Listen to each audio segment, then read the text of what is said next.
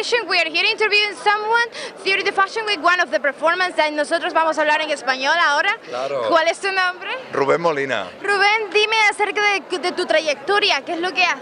Pues mira, tengo una compañía que fundé en París hace tres años. He bailado con muchas compañías como primer bailarín. Y estoy con un espectáculo que se llama Nuit Flamenco. Wow. Que estamos en París desde hace tres años. ¿Hace sí. tres años? Me están llamando. Sorry.